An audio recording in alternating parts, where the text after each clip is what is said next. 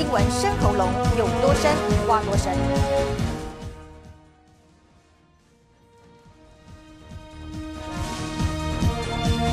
韩国总统朴槿惠，俄罗斯总统普京。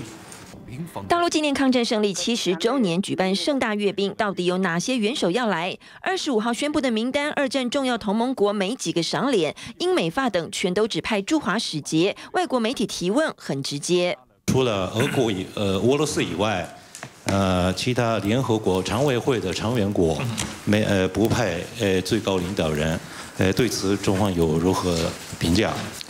我知道英国、美国、法国等西方国家，呃，没有派自己最高的领导参加阅兵，呃，那我想知道，您觉得这对中方，呃，是不是一种侮辱？这问题真的有点尴尬。大陆外交部副部长张明只能低调回应：各国派谁出席，这是各国自己做出的决定。中国人讲来的都是客，我们都欢迎。另外还有一个人为何不来，也被记者连番追问。呃，请介绍一下为什么朝鲜领导人金正恩不参加这次的纪念活动？我不知道能否证实一下，中国是否向金正恩发出了邀请？那么他这次不来华，而委派崔龙海过来的话，有没有向中方解释是什么样的原因？